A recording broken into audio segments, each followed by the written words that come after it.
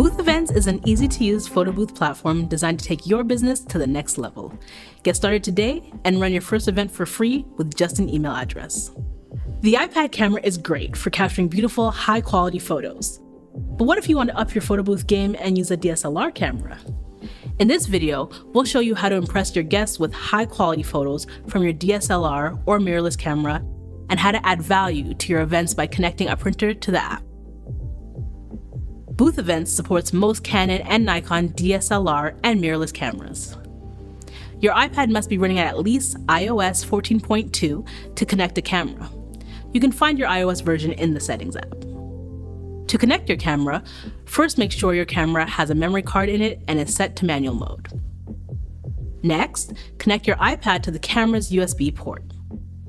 We strongly recommend Apple's USB-C to USB adapter if you have a USB-C iPad or their Lightning to USB 3 camera adapter if you have an iPad with a Lightning port.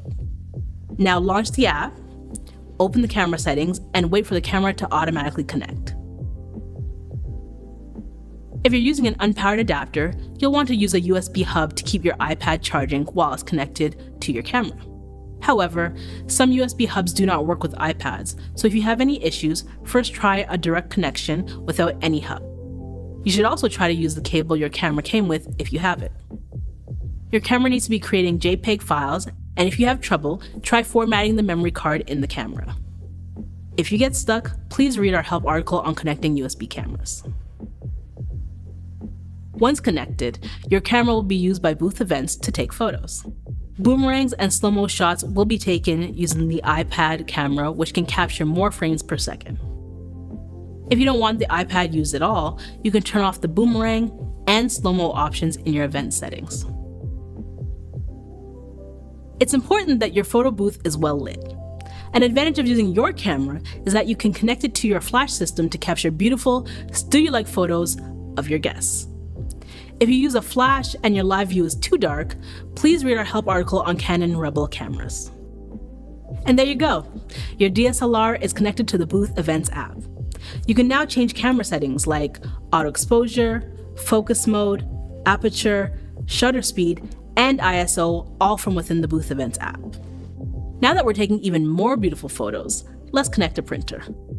Booth Events can connect to any printer that supports AirPrint, a DNP WPS unit with a connected printer, or a DNP WCM unit with a connected printer.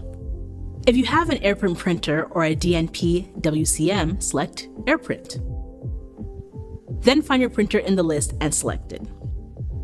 If you're unable to find your printer, make sure that your iPad and your printer are connected to the same Wi Fi network or Ethernet connection. If you have a DNP WPS unit, select DNP WPS. The app will try to find the WPS unit on its default IP address. If it's not found there, you'll be prompted to enter the IP address of the WPS unit. You should be able to find this on the screen of the unit. After the unit is found, you'll get a choice of the paper queue selection.